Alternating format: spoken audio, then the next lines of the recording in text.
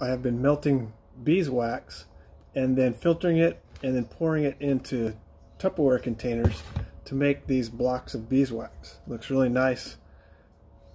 Turned out really well. In some of the Tupperware containers, I put water in there first, and then a crazy thing happened. As I would pour in the beeswax, it would start to harden, and it made these crazy designs because there was water already in the Tupperware.